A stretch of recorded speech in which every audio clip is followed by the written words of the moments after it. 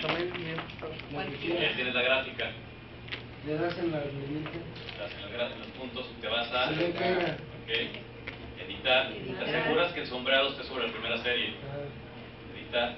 Y luego te vas a la- el nombre de la serie. Aquí Lo eliges ahí. lo eliges, te vas al grupo B. ¿Qué pasa? Le das OK y ya tu, tu serie se llama grupo B. ¿Ok? Luego te vas a Layout, que arriba. Te vas a.